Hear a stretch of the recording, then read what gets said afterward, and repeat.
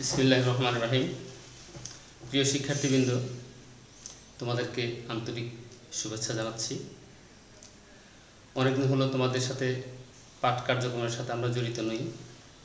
তোমরা জানো, বিশ্বব্যাপী corona virus disease, COVID nineteen ভাইরাসের মহামারীতে সারা বিশ্ব অনেকটা থমকে গেছে।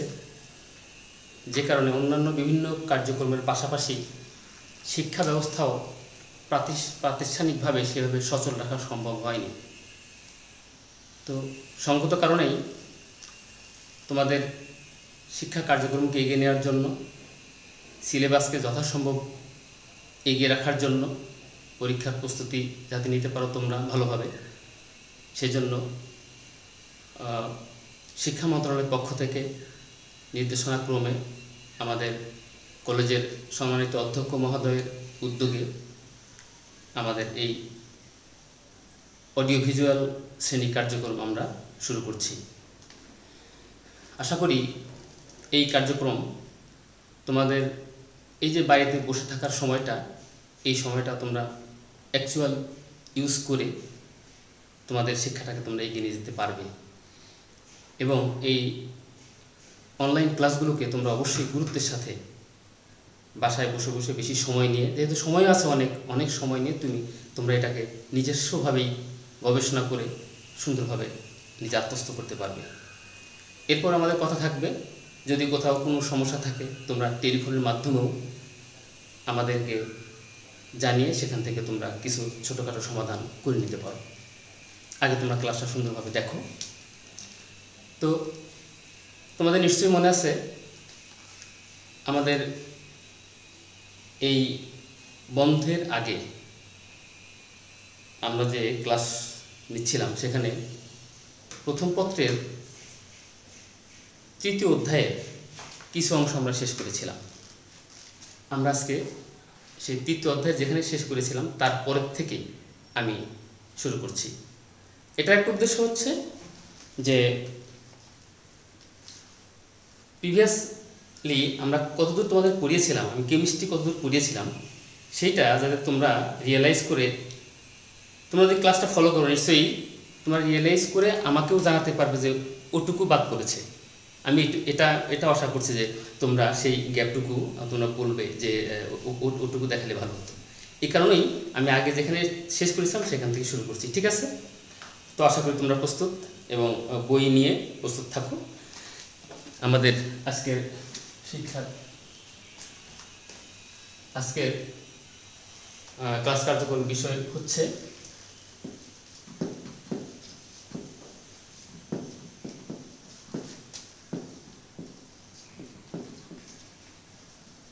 রসায়ন প্রথম পত্র অধ্যায় তিন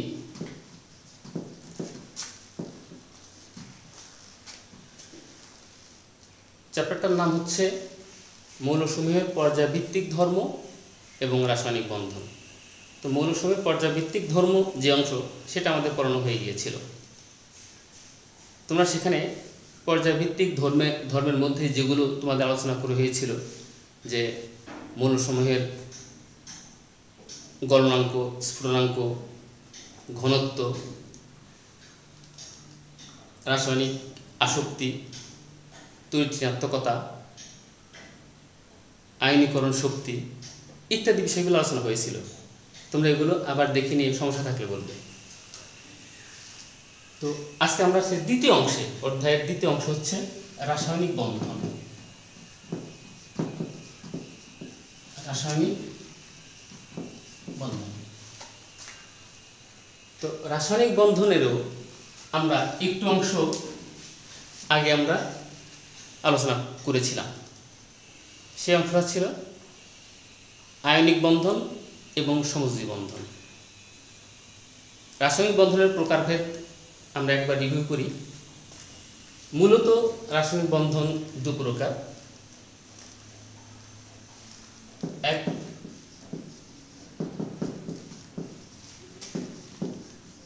আয়নিক বন্ধন। দুই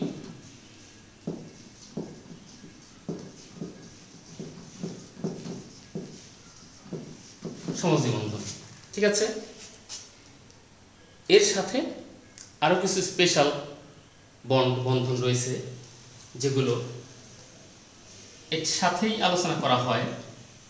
তোমাদের বইতে হয়ে দেওয়া আছে যে তিন নম্বর হিসাবে সন্নিবেশ সমজি বন্ধন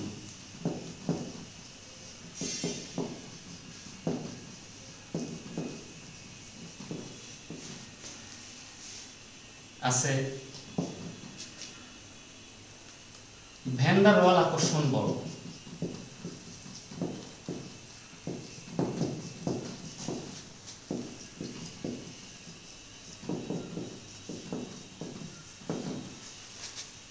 এবং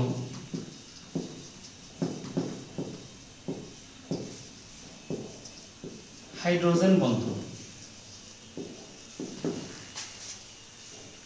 এগুলো মূলত রাসায়নিক বন্ধনের প্রকারভেদ। তার সাথেও এই বন্ধনগুলো কীভাবে রচিত হয় সেগুলো আলোচনা করতে গিয়ে যেমন সমজীব বন্ধনের ক্ষেত্রে আসে পাই বন্ধন, সিগমা বন্ধন হ্যাঁ হাইব্রিডাইজেশনের মাধ্যমে বিভিন্ন বন্ধন। এগুলো তোমরা আগে আমরা পড়িয়েছি এবং আমরা আলোচনা করেছি, তোমরা জেনেছ। তো আমরা পূর্বের ক্লাসে প্রথম দুইটা, অর্থাৎ আয়নিক বন্ধন এবং সমজী বন্ধন, এই দুটো সম্পর্কে আলোচনা হয়েছিল। আজকে আমি সন্নিবেশ সমজী বন্ধন থেকে আলোচনা শুরু করছি।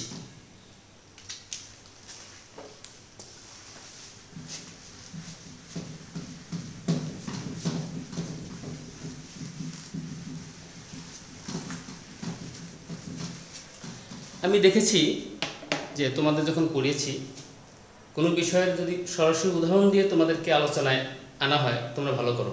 এখন তো তোমরা ক্লাসে নেই, সেই হিসেবে অডিও ভিজুয়াল ক্লাসে আমি সেই উদাহরণ দিয়েই শুরু করছি। দেখো, সন্নিবেশ সমাজী বন্ধন মূলত এক ধরনের সমাজী বন্ধন। যে কারণে এই বন্ধনটা সম্পর্কে আলোচনার পূর্বে একটু সমাজী বন্ধন আলোচনা করতেই হয়। একটা উদাহরণ দিচ্ছি যেমন অ্যামোনিয়া অণুর গঠন। অ্যামোনিয়া অণুতে দুটি পরমাণু রয়েছে, একটা নাইট্রোজেন, একটা হাইড্রোজেন।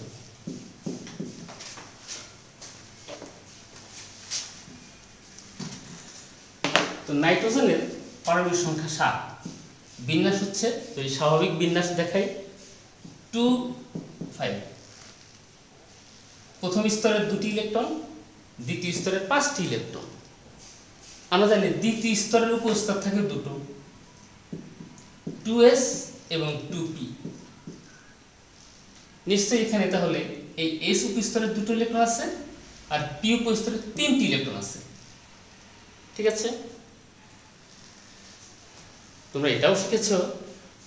পি উপস্তরের আবার তিনটি অরবিটাল রয়েছে। পিএক্স পিওয়াই পিজেড হুন্ডের নীতি অনুযায়ী, বিজ্ঞানী হুন্ডের নীতি অনুযায়ী অরবিটাল সমূহে আগে বেজোর সংখ্যক ইলেকট্রন অবস্থান করে। সুতরাং তিনটি ইলেকট্রন তিনটি অরবিটাল যাচ্ছে।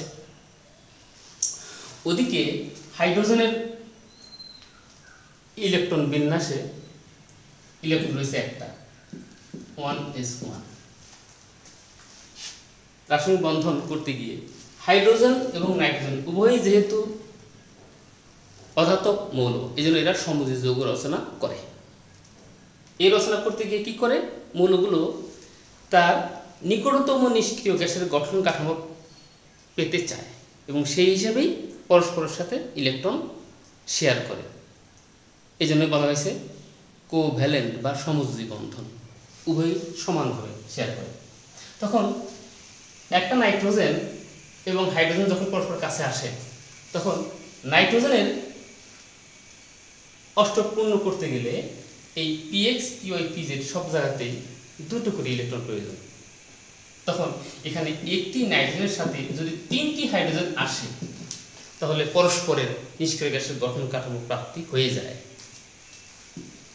তোমাদের বোঝার সুবিধার্থে আমি এটাকে লুইস প্রতীক দিয়ে দেখাচ্ছি। নাইট্রোজেনের তাহলে কি? বাইরের কক্ষপথে ইলেকট্রন মোট কয়টা আছে? এই যে এই সুপোস্টারের দুটো, এক জোড়া দুইটা। আর আর এক জায়গায়, আর তিন জায়গায় আছে তিনটা। এই যে আমি আলাদা আলাদা করে দেখ- দেখাচ্ছি। হাইড্রোজেন আছে কয়টি? একটি। এটা ইলেকট্রনকে যেহেতু আমরা ডট দিয়ে দেখিয়েছি, এটা ইলেকট্রনকে আমরা ক্রস দিয়ে দেখাবো। তখন কি হয়? এই নাইট্রোজেনের এই জোড়া ঠিকই থাকে, কিন্তু এইখানে এক একটা হাইড্রোজেন গিয়ে এক জোড়া করে ইলেকট্রনের সমাহার ঘটায়। এই একটা হাইড্রোজেন, এই একটা হাইড্রোজেন, এই একটা হাইড্রোজেন। ফলে একটা একটা ইলেকট্রন শেয়ার করে এই বন্ধন জোট ইলেকট্রন এর উপরে হাইড্রোজেন এবং নাইট্রোজেন উভয়েরই কিন্তু অধিকার রয়েছে। আর এটাই সমজী বন্ধন। সমানভাবে শেয়ার করা বন্ধন এখন, এর ফলে কি হলো? হাইড্রোজেন তার নিকটতম নিষ্ক্রিয় গ্যাস হিলিয়ামের গঠন পেল, কারণ হিলিয়ামের বাইরে ইলেকট্রন থাকে দুটো। এই যে হাইড্রোজেন দুটো হয়ে গেল প্রত্যেকের দুটো হয়ে গেল প্রত্যেকের দুটো হয়ে গেল। নাইট্রোজেনের কটা হলো? এই তিন দুগুণে ছয় আর নিজস্ব দুটো, মোট এই আটটা ইলেকট্রন হয়ে গেল। অর্থাৎ নাইট্রোজেন তার নিকটতম নিষ্ক্রিয় গ্যাস নিয়নের গঠন কাঠামো পেল কারণ নিয়নের বাইরে ইলেকট্রন রয়েছে? আটটি। এতে কি হলো? কি উৎপন্ন হলো? আমরা এখান থেকে দেখব উপরে দিয়ে যদি দেখাই যে একটা নাইট্রোজেনের সাথে তিনটা হাইড্রোজেন রয়েছে NH3 এবং তাতে একটি মুক্ত ইলেকট্রন রয়েছে। যে ইলেকট্রনগুলি অপর কোনো মৌলের সাথে বন্ধনে আবদ্ধ হয় নাই বা বন্ধনে অংশগ্রহণ করে নাই, তাকে বলে মুক্ত ইলেকট্রন। এক জোড়া থেকে বলা হয় মুক্ত জোড় ইলেকট্রন।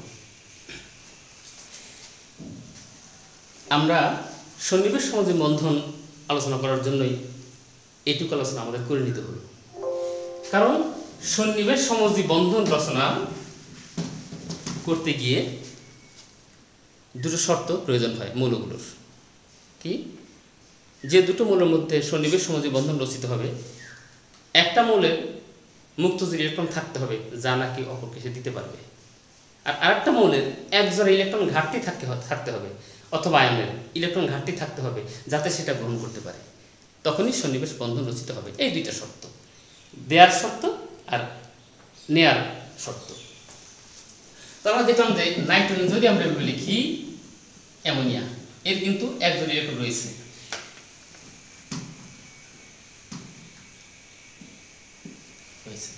এবং এটা যার নাকি ইলেকট্রন ঘাটতি রয়েছে তাকে কিন্তু সে দিতে পারবে। যেমন হাইড্রোজেন পরমাণু। এর একটি ইলেকট্রন যদি সে ছেড়ে দেয়, তখন প্রোটন নামক একটা রাসায়নিক সত্য উৎপন্ন করে। যার নাকি বাইরে কক্ষপথে একটা ইলেকট্রন ছিল, হাইড্রোজেন, এখন সেটা নেই। সুতরাং হাইড্রোজেনের বহিস্তরটি একটি মাত্র, যে স্তরটা, সেই স্তরটা, ওই যে ওয়ান এস স্তরটা, এই স্তরের ইলেকট্রনটা নেই, বিধায় এইচ প্লাস এই আয়নের কিন্তু আর কোনো ইলেকট্রন নেই। সুতরাং সে দ্বিত্ব পূরণ করতে চাইলে দুটি ইলেকট্রন প্রয়োজন হয়। আর অ্যামোনিয়ার কাছাকাছি যখন এই হাইড্রোজেন আয়নটি আসে তখন অ্যামোনিয়া এই দুটি ইলেকট্রন তাকে দিয়ে তার দ্বিত্ব পূরণ করায়, অর্থাৎ এর সাথে যুক্ত হয়ে এন এইচ তিনের সাথে এন এইচ তিনের সাথে একটা এন এইচ ফোর এই আয়নটা আয়ন হিসাবেই থেকে যায়। কারণ ইলেকট্রন যুক্ত এর এর সাথে যুক্ত হয়নি, শুধুমাত্র এর দ্বিত্ব পূরণ করেছে।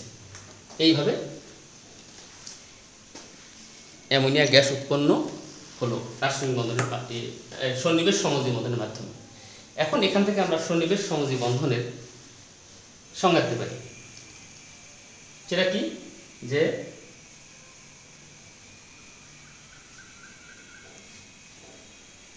যে সমজী বন্ধনে একটি মৌল ইলেকট্রন জোর সাপ্লাই করে এবং অপর মৌল সেটার উপরে শেয়ার করে, কিন্তু সে নিজে থেকে ইলেকট্রন দেয় না। এই ধরনের বন্ধনকে বলা হয় সন্নিবেশ সমজী বন্ধন। এবং এই বন্ধন প্রদর্শনের সময় দাতা পরমাণু থেকে গ্রহিতা পরমাণু থেকে একটি তীর চিহ্ন দিয়ে দেখানো হয়। এই যে আমরা যেমন দেখিয়েছি, এটি আমাদের সন্নিবেশ সমজী বন্ধন। তাহলে এটা একটা একক অণু বা একক আয়ন উৎপন্ন হওয়ার ক্ষেত্রে সন্নিবেশ সমজী বন্ধন আমরা আলোচনা করলাম। এক নম্বর। দুই নম্বর সন্নিবেশ সমজী বন্ধনের উদাহরণ। জুতো যৌগ গঠন। জুতো যৌগ গঠনের ক্ষেত্রে এটা হতে পারে। যেমন এটা যদি নেই এনএইচ থ্রি অ্যামোনিয়া, এক জোড়া ইলেকট্রন। আর কোনো বিএফ থ্রি। বোরন ট্রাইফ্লোরাইড এইটা এখানে এক জোড়া ইলেকট্রনের ঘাটতি রয়েছে। সেটা আমি একটু সাইড আলোচনা করে তোমাদের দেখাচ্ছি। যে বোরনের ইলেকট্রন পাঁচটি টু থ্রি দ্বিতীয় কক্ষপথে তিনটি। সুতরাং বোরন যখন ওই তিনটি ইলেকট্রন দিয়ে আমি সংক্ষেপে তোমাদের আলোচনা করছি, এই তিনটি ইলেকট্রনের সাথে তিনটা ফ্লোরিনের সাথে যুক্ত যখন হয় ফ্লোরিন প্রত্যেকে মনে করে একটা করে ইলেকট্রন দিয়েছে এখানে বলো, এটা বলো। তখন এই তিন দুগুণে ছয়টা ইলেকট্রন হয়েছে, বোরনের দশটা পূর্ণ হয়নি। কিন্তু সুস্থিত যোগ উৎপন্ন করেছে তার কারণ তার শেয়ার করার মতো ইলেকট্রন আর বাইরের কক্ষপথে নেই। এই কারণে এই ধরনের যোগের সাথে এই ধরনের মুক্ত ইলেকট্রন যুক্ত যৌগ পরস্পর যুক্ত হয়ে যুক্ত যৌগ গঠন করতে পারে, অর্থাৎ এই ইলেকট্রন জোড় তার এই বহিস্তরে দিয়ে তার এই ছয়ের সাথে এই মুক্ত জোড় ইলেকট্রনটা শেয়ার করে তার অষ্টপূর্ণ হয়। তখন এই স্ত্রীর বিএফ থ্রি এই ধরনের যুক্ত যৌগ গঠন করতে পারে। তাহলে এইটাও সন্নিবেশ সমাজী বন্ধনের আরেকটা উদাহরণ। আমরা একটু মুছে উপরে যাচ্ছি। কিছু ক্ষেত্রে একই যৌগের মধ্যে ভিন্ন ভিন্ন পরমাণুতেও সন্নিবেশ বন্ধন গঠিত হতে পারে। যেমন অ্যালুমিনিয়াম ক্লোরাইড। আমি গাঠনিক সংকেত লিখছি। অ্যালুমিনিয়াম ক্লোরাইড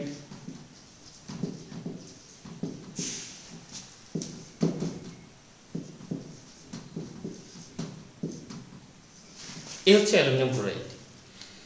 অ্যালুমিনিয়ামের বহিস্তরে তিনটি ইলেকট্রন থাকে, আয়নিক বন্ধন রচনা করার সময় এগুলো তোমরা শিখেছ। তিনটা থাকে, সে তিনটা ইলেকট্রন ছেড়ে দিলে অ্যালুমিনিয়াম থ্রি প্লাস আয়ন উৎপন্ন করে।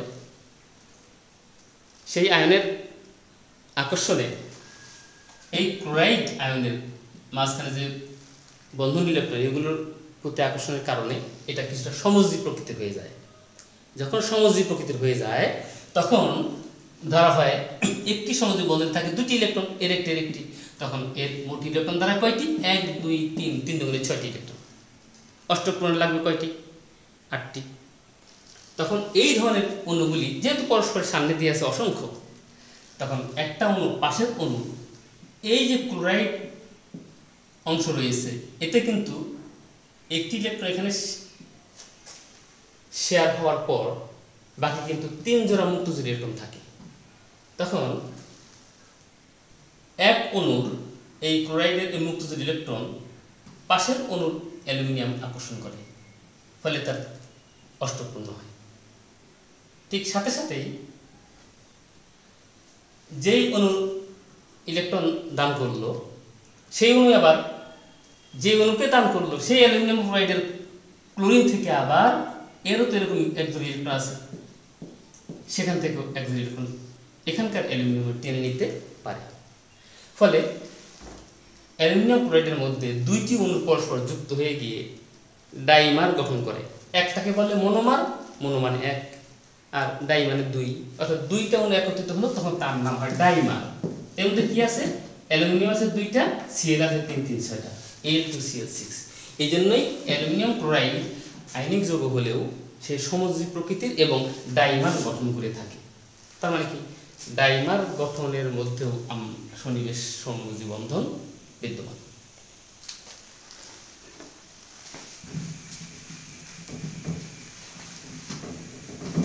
তাহলে তোমরা এতক্ষণ সন্নিবেশ সমাজী বন্ধন রচনার তিন ধরনের প্রক্রিয়া শিখলে। আরেকটি ইম্পর্টেন্ট প্রক্রিয়া আছে, সেটা হচ্ছে জটিল যৌগ গঠন। জটিল যৌগ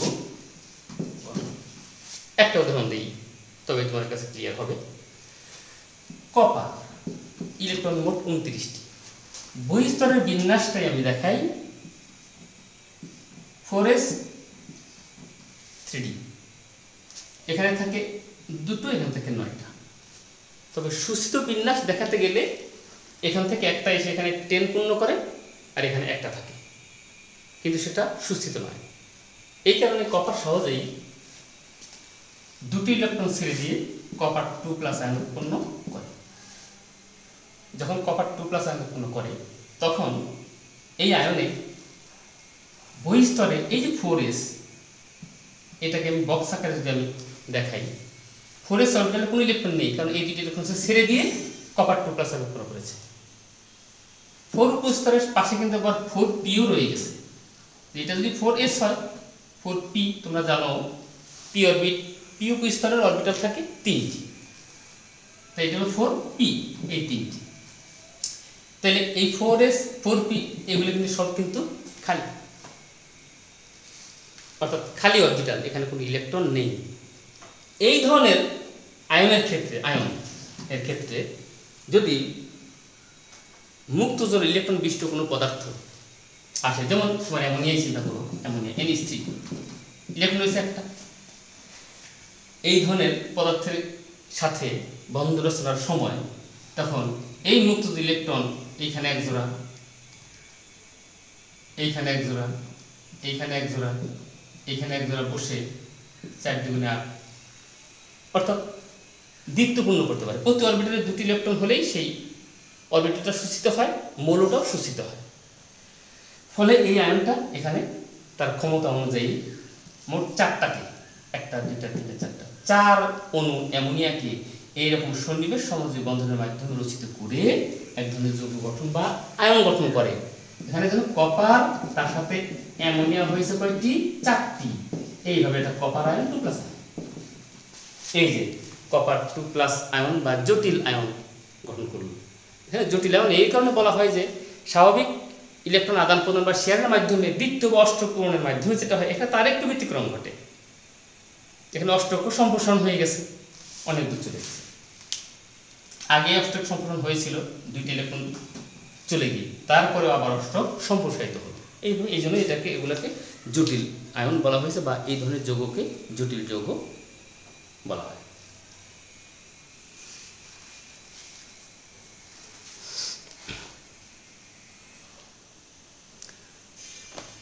তো তোমরা এখন সন্নিবেশ সমাজে বন্ধন যে আমরা আলোচনা করলাম, এর উপর ভিত্তি করে আমি দু একটা বাড়ির কাজ দিয়ে দিচ্ছি। তোমরা এটা বাসায় দেখবে।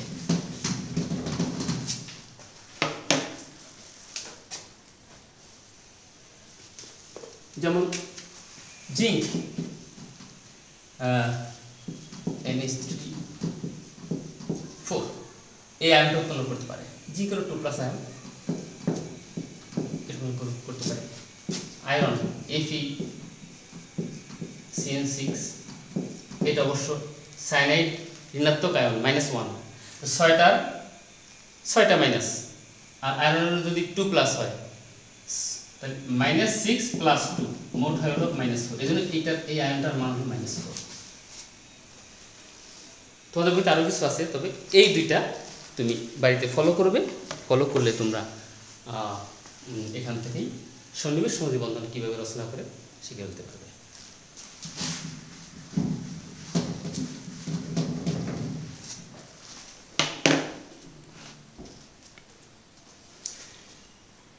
তোমাদের বইয়ে এরপরে রয়েছে পোলারিটি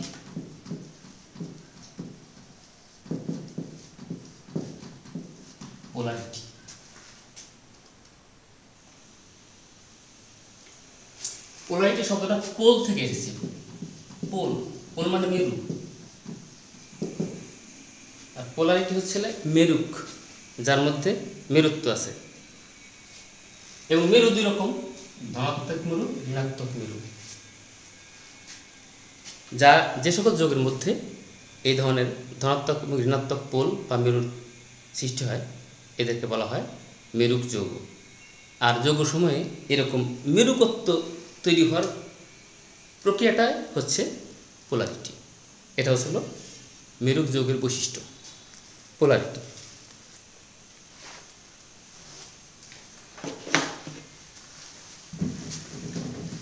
আমাদের সমজীব যোগ আলো- আলোচনা করেছি, সমজীব বন্ধনের মাধ্যমে সমজীব যোগ উৎপন্ন হয়। সেগুলোর মধ্যে পোলারিটি উৎপন্ন হতে পারে। Hydrogen chlorine nitrogen. এই ধরনের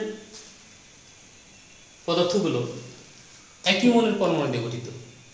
এবং একই মৌলের পরমাণু দিয়ে যখন গঠিত হয়, তখন উভয় দিক থেকে তড়িৎ-ঋণাত্মকতা সমান থাকে। যেমন দুটো নাইট্রোজেন এইভাবে যুক্ত আছে।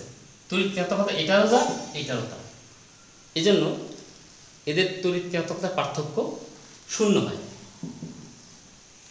আর এই পোলারিটি বিষয়টি সমযোজী যোগের পোলারিটি বিষয়টি সংশ্লিষ্ট মৌলগুলোর ঋণাত্মকতা পার্থক্যের উপরেই ভিত্তি করে। যদি দুটো মৌলর ঋণাত্মকতার পার্থক্য জিরো হয়, তখন তার মধ্যে পোলারিটি হয় না। নন পোলার বিশুদ্ধ, অপোলার যৌগ। তখন কোনো হয়? বিশুদ্ধ, অপোলার যৌগ। যেমন নাইট্রোজেন। একটা বিশুদ্ধ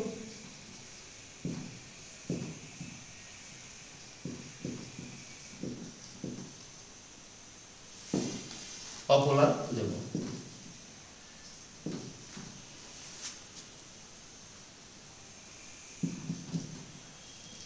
এই সেল উদাহরণ হিসেবে নিচ্ছি। হাইড্রোজেনের তড়িৎ ঋণাত্মক হচ্ছে টু পয়েন্ট ওয়ান আর ক্লোরিনের হচ্ছে থ্রি সুতরাং এই দুটো পার্থক্য কত হয়? পয়েন্ট নাইন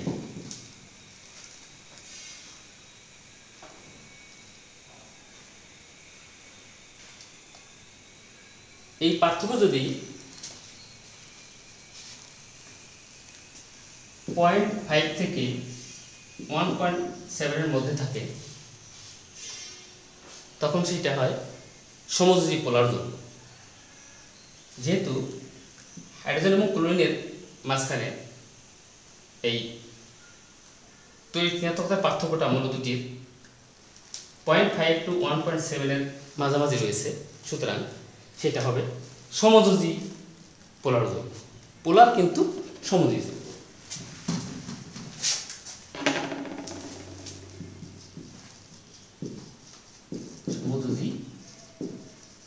পোলার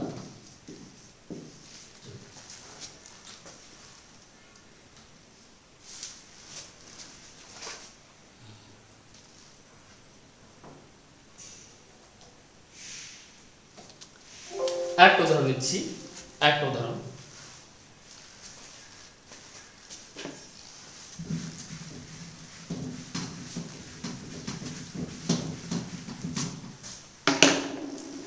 হাইড্রোজেন আয়োডাইড। এইখানে হাইড্রোজেনের ঋণাত্মকতা টু পয়েন্ট ওয়ান আর আয়োডিনের ঋণাত্মকতা টু পয়েন্ট ফাইভ সুতরাং এই দুইটা মৌলের তড়িৎ ঋণাত্মকতার পার্থক্য two point five minus two point one দেখাচ্ছি না, সহজ জিনিস জিরো পয়েন্ট ফোর এটা কিন্তু কত হলো? Is less than zero point five অর্থাৎ জিরো পয়েন্ট ফাইভের নিচে যদি হয়, তখন তার মধ্যে পোলারিটি উৎপন্ন হয় না। অর্থাৎ এটা হলো কি? নন পোলার এটা অপোলার সমযোজী যৌগ অপোলার?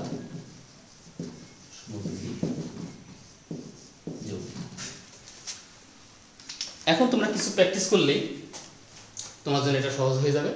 যেমন ধরো H two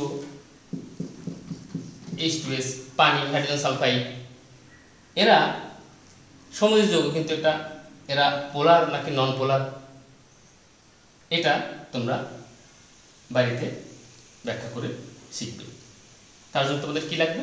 হাইড্রোজেনের তরিতাত্মকতা অক্সিজেনের তরিতাত্মকতা আর সালফারের তরিতাত্মকতা বইতে দেওয়া আছে ওগুলা দেখে এগুলোর থেকে তুমি এগুলা তরিতাত্মকতার পার্থক্য থেকে তুমি নির্ণয় করবে যে এগুলা পোলার নাকি নন পোলার তো কীভাবে পোলারিটি উৎপন্ন হয়? এবং পোলার যোগের শর্তের উপর ভিত্তি করে কোন যোগগুলো, কোন সমযোজী যোগগুলো, পোলার কিংবা নন পোলার কিংবা বিশুদ্ধ পোলার যে যোগগুলো বা দ্বিপরমাণু মৌলগুলো, এই সম্পর্কে তোমরা আলোচনা আজকে আশা করি শিখলে। তো আজকে আমরা যে পর্যন্ত আলোচনা করলাম, এই পর্যন্ত তোমরা আজকের মতো বাসায় ভালোভাবে দেখো। কোথাও কোনো সমস্যা হলে টেলিফোনে আমাদের সাথে, আমার সাথে যোগাযোগ করে শুধরে নেবে। তো আশা করি তোমরা এই